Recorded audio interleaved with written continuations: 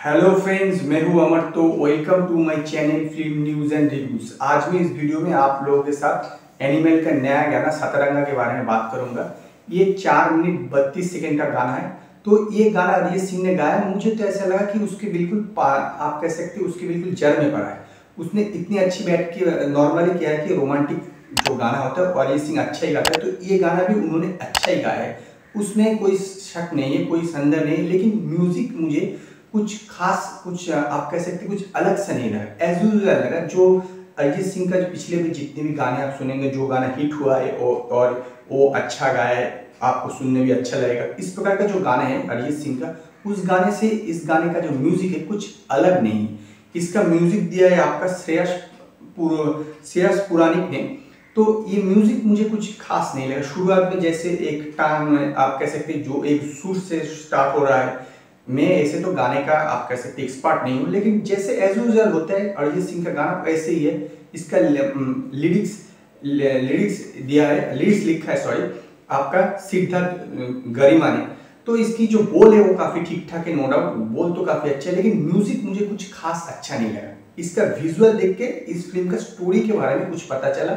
इस फ़िल्म में आपका रश्मिका मंदाना का नाम है गीतांजलि। तो ये दोनों हस्बैंड वाइफ है। पहले तो दिखाया गया था कि लवर है उसके बाद शादी तो दिखाया गया था। तो शादी करने के बाद इन दोनों के दो बच्चे एक लड़का एक लड़की।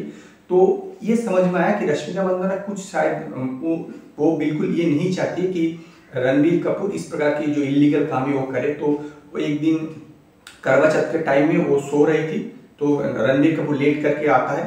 फिर वो उसे जगाता है, फिर वो बताता है कि किस वजह से मुझे लेट हुआ। तो जैसे ही वो सुनती है ये बात तो उसे गुस्सा आ जाती है और एक दूसरे में झगड़ने लगता है। तभी अनिल कपूर आ जाता है कि क्या, कहता है कि क्या हो रहा है। तो बोला, नहीं, कुछ बात नहीं हस्बैंड वाइफ भी एज जो झगड़ा होता है ऐसे ही कुछ खास नहीं तुम चले जाओ। तो उसके बाद दिखाया जाता है कि ये इसको लेकर, क्योंकि रणबीर कपूर ये जो इलीगल काम ये छोड़ नहीं रहा है ये शायद वजह होगा। तो उन दोनों में काफ़ी झगड़ा हो जाता है तो अलग अलग रहने लगते हैं। तो आखिर में दिखाया जाएगा कि रणबीर कपूर कह रहा है, अगर मैं नहीं लौटा तो प्लीज़ शादी मत करना।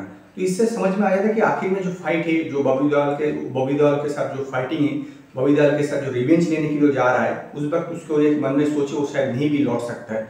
तो इससे क्या हुआ कि ये गाने से विजुअल से आपका ये जो एनिमल फ़िल्म का स्टोरी के बारे में काफ़ी सारा रिवील हुआ। यही इस गाने का आप कह सकते हैं प्लस पॉइंट है।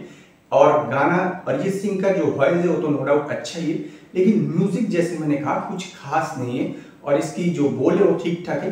कुछ आ, क्या मैं बताऊँ कि कुछ एक्स्ट्रा कुछ ऐड नहीं कर पाएगा। मुझे लगता नहीं कि ये गाना कुछ अलग से इम्पैक्ट क्रिएट कर पाएगा इस फ़िल्म के लिए। हो सकता है जब ये फ़िल्म देखूँ हो सकता है तब ये गाना अच्छा लगे।